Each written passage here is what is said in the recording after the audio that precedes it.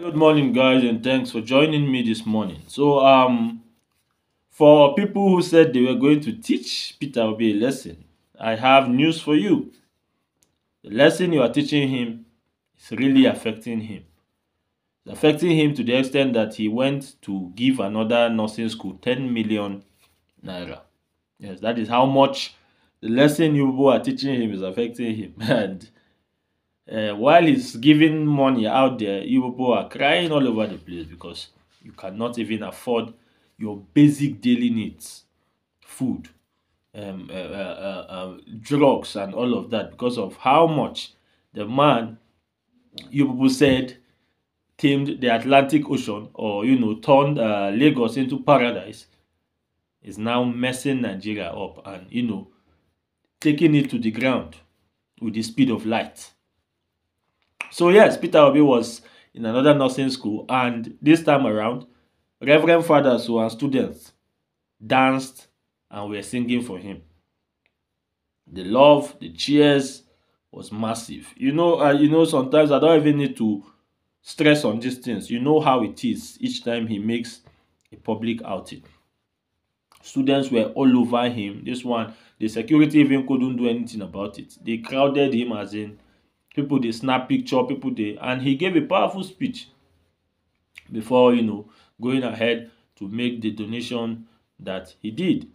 He said he was he promised to be part of that project. You know when it comes to education you know how much the man values education. I'm going to be showing you you know snippets of that video but before i do that let me quickly show you another part of the corruption that is going on on the ground in the APC government, as revealed by the aide of the former president, Buhari. What happened under Buhari is something that one cannot fathom. And what is going on under Tinubu now, when you hear it, definitely shivers will go down your spine. Let me not say too much. Let me allow you listen to the man of how trillions of naira was not remitted. And when we come back, we will continue. Please watch. What happened with CBN? There was this issue of um, stamp duties. Stamp duties. And people, some people have written School of Banking Honors. It's an NGO in the banking and banking sector. They have written a, a, a petition saying that the banks have recovered over 38 trillion over the years from stamp duties and that this money had not been remitted. Okay? And um, they mentioned the former acting governor of the central bank. You know, when Emefiele was removed and acting governor was appointed, that man was the chairman of, or the MD, the managing director of they call it a uh, Nigerian something something banking system. So that is a, a, a, a firm established by bankers in Nigeria, you know. So they mentioned him, and shortly after that, there was this announcement that he, he has been appointed deputy governor of the central bank. So I wrote a memo to informing President Buhari that how can you inform, how can you appoint as deputy governor somebody who we are investigating concerning stamp duties?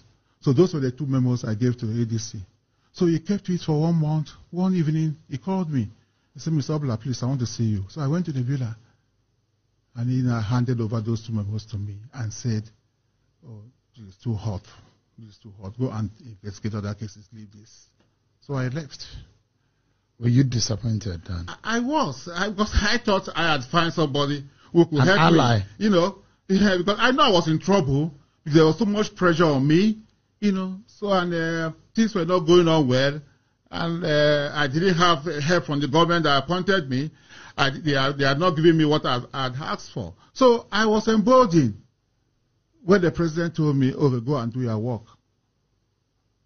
But on January 2019. I was in Calabar. I went for, because the president was coming to Calabar to campaign. My PA called me from my office number to say that there was a letter from the vice president's office saying that the panel should be suspended. Of course, um, I I walked to the, the same ADC because they sent that, that, that mail, the letter, you know, through my WhatsApp and say, oh, this is what I, I have received. And say, oh, go and do your work. Of course, I, I didn't comply with the letter. I, I continued doing my work until August when I was suspended. All right, welcome back, guys. I guess you saw it. I guess you heard him. Now, and we expect Nigeria to develop. Like I said yesterday, when I showed you part one of the revelation he made, how do we expect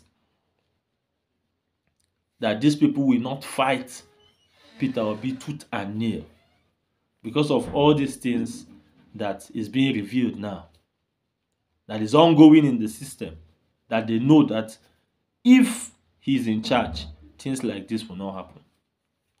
Those who are benefiting from it will fight now. Imagine someone having $69 billion from the report I gave you yesterday, from crude oil sales to himself. Then look at this one again. So you see the kind of massive corruption going under the APC. And you can't even say a word because it leaves you shocked while Nigerians are suffering out there in the streets. Now, having said that, let me show you uh, Peter Obi's outing. And when we come back, we'll wrap up. Please watch.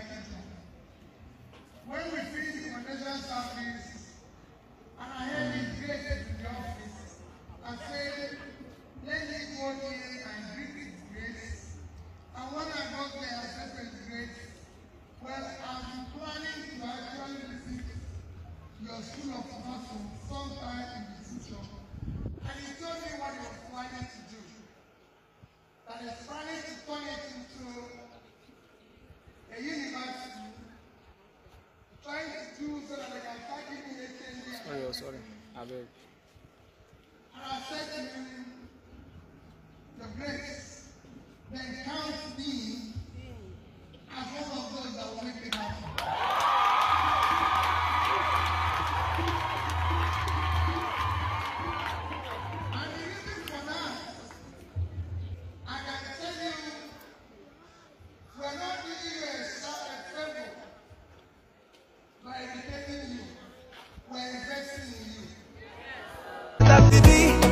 Sister, get your BBC. Make me unite the people to you.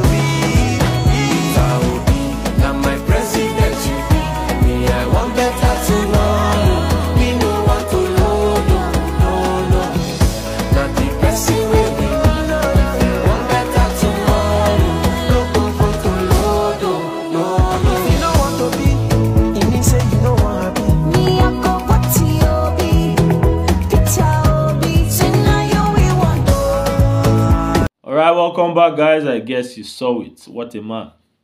What a man. Yes. You know, one thing you can't take away from this man is his steeze and composure. You can't take away the organic love the masses have for him.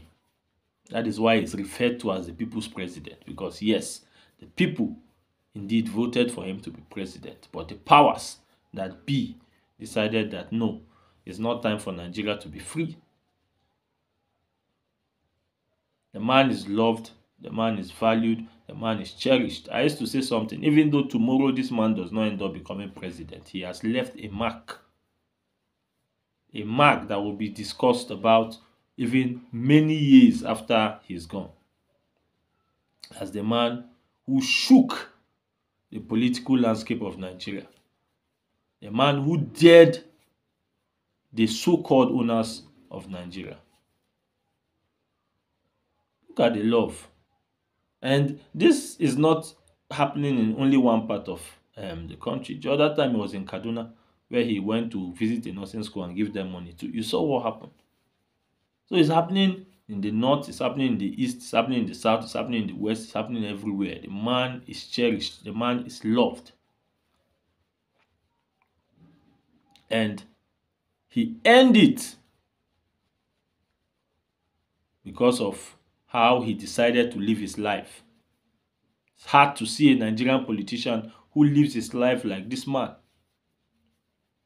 Character, competence, capacity, all he has it. And the people who are fighting against him knows. But you know, they, they are scared that okay, this man will remove food from our mouth, and that is why you see they are fighting him helter skelter. But no matter how they fight him, no matter how they lie against him, no matter how the likes of Renu, Boala, um, Sowore, um, Doyin Okupe, and their likes come out to say things about him that are not true, it won't change the love Nigerians have for him. Instead, it will go ahead to gain him more people. So that's it, guys. I said let me show you the video. Thanks for watching, and God bless you.